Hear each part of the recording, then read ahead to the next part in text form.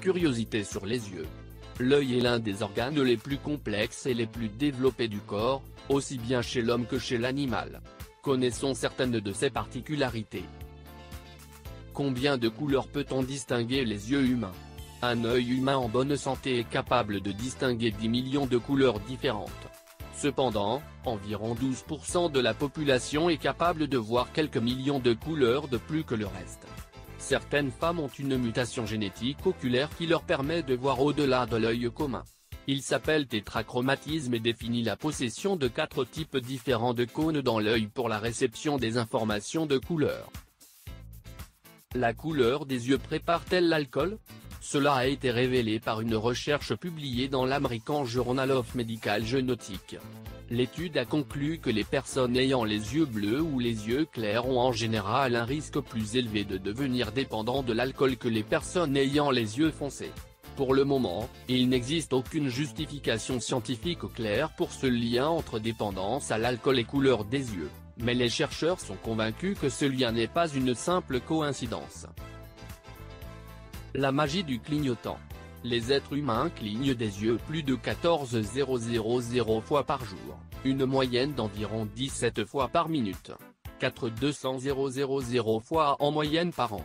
L'ordinateur, la tablette ou le téléphone ralentit cette fréquence, car cela nous fait prêter attention et nous oublions de cligner des yeux si souvent. En ce qui concerne les animaux, nous avons déjà vu que certains manquent de paupières, les poissons, les serpents et les insectes. En revanche, les chameaux ont trois paupières, ce qui est utile pour se protéger des tempêtes de sable dans le désert. Yeux animaux superbement préparés. Les papillons peuvent voir la lumière ultraviolette. Les hiboux ont des yeux 2,2 fois plus grands que la plupart des oiseaux. Dans le noir, ils voient 10 fois mieux que l'homme. Les caméléons sont capables de voir dans différentes directions en même temps. L'œil du gecko est 350 fois plus sensible que l'œil humain. Enregistrement des yeux d'animaux. Si nous parlons de taille, l'œil de l'autruche est sans doute le plus frappant. Les yeux d'une autruche sont encore plus gros que son cerveau, qui pèse presque le même poids qu'un gros colibri, ce qui n'est pas du tout lié à son intelligence ou à sa perception. Un autre œil reconnu est celui du calmar géant, qui a à peu près la taille d'une pastèque, ses yeux sont jusqu'à trois fois plus grands que ceux de tout autre animal. Sommeil avec un œil ouvert. Chez certains animaux, bien plus qu'un proverbe, dormir avec un œil ouvert est une réalité et c'est que, par exemple, les dauphins dorment avec un œil ouvert. En effet, ils doivent garder la moitié de leur cerveau éveillé pour pouvoir respirer, et ne pas mourir pendant leur sommeil. Ils laissent donc hors l'un de leurs hémisphères cérébraux, tandis que l'autre moitié contrôle les fonctions vitales, notamment celles mentionnées, la respiration. Pendant le sommeil, le dauphin ralentit son métabolisme et reste pratiquement immobile.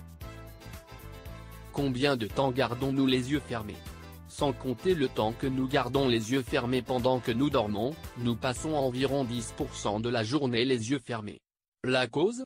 Très simple et nous avons parlé avant cela, le clignotement.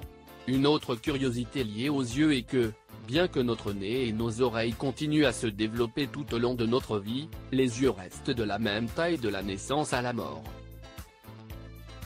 Les yeux de poisson. Les poissons peuvent-ils fermer les yeux? Certainement pas. Les yeux du poisson n'ont pas de paupières et ne se ferment donc jamais. Sont-ils les seuls animaux qui n'ont pas de paupières?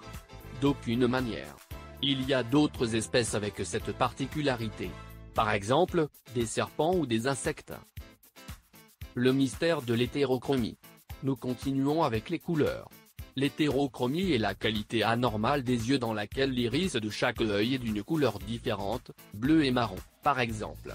L'hétérochromie peut être partielle, une partie de l'œil, ou complète, tout l'iris, c'est rare, mais c'est une caractéristique que l'on trouve chez l'animal et chez l'homme.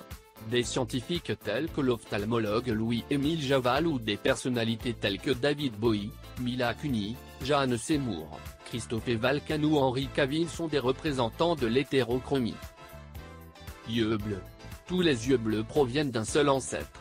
Cela a été déterminé par une équipe de chercheurs de l'université de Copenhague qui ont montré que toutes les personnes ayant des yeux bleus sont issues d'un ancêtre commun qui vivait il y a entre 6000 et 10000 ans, à l'époque néolithique.